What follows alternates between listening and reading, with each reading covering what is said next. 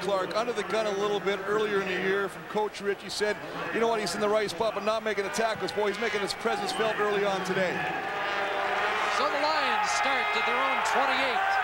Two and out, first possession. Dickenson back to the air. Here comes Doug Brown. He's got him. Back at the 20. I talked to Doug Brown yesterday, and he was discussing the frustration of not getting to the quarterback as much this year. Well, Didn't waste much time here. One sack all of this year. That may be number two. We see a flag is thrown on the far side of the field. Offside, BC, number 81. Penalties decline. Now, Geroy Simon jumping the gun. But as you say, Doug Brown, I tell you what, him and his partner in crime, Denny Fortney, the two inside tackles, really outstanding job against Phillips and Calgary last week with seven combined tackles. Really, you can see why they're number one against the run. It is a dynamic combination inside. And it's second and a bunch.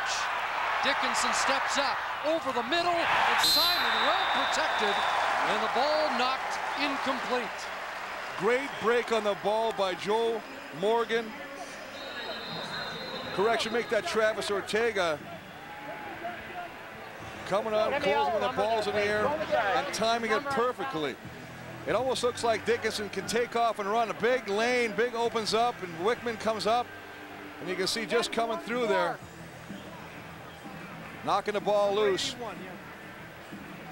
And Geroy Simon's going to draw that bigger crowd all afternoon. Well, when you're the leading receiver in the league and you've had a game where you've caught 10 catches for 238 yards plus a two-point convert the week prior, you better draw some attention.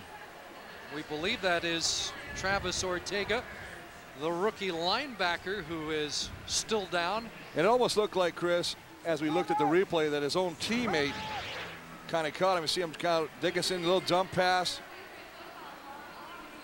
And you can see the crunch coming. It's Maurice Kelly, number 24, who catches him in the rib cage. And you can actually see when he catches him, it knocks the wind out of him. And that's what we're hoping right now, that the only thing is, the best case scenario, just knock the wind out of the rookie from Rice. And Ortega making his way off. They've just announced here in the stadium your induction into the Hall of Fame, and uh, the folks in the section just below us giving Chris Walby a standing ovation. I didn't know he had that many family here. Oh, that's nice. Center. Third down and Curtis Head punting the ball away. And it seems like this wind isn't helping anybody right now as it swirls.